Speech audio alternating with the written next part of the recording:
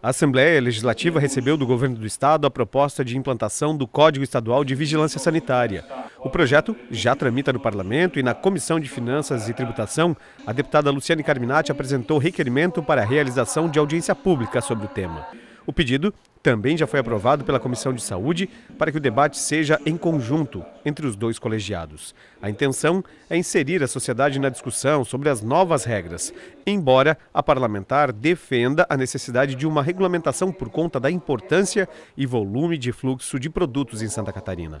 Por conta do envio dessa matéria, nós entendemos que é fundamental reunir todos os atores, setor empresarial, é, a vigilância sanitária do Estado, o Conselho Federal também, o Conselho Estadual, perdão, para que a gente possa tratar no âmbito de cada município os impactos é, do texto da vigilância sanitária, né, do Código Sanitário aqui para o Estado de Santa Catarina.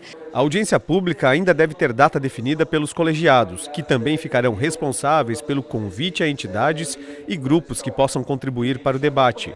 No ano passado, a matéria chegou a ser discutida no parlamento catarinense, mas houve a apresentação de uma emenda substitutiva global do próprio governo de Santa Catarina, que também será discutida na audiência pública.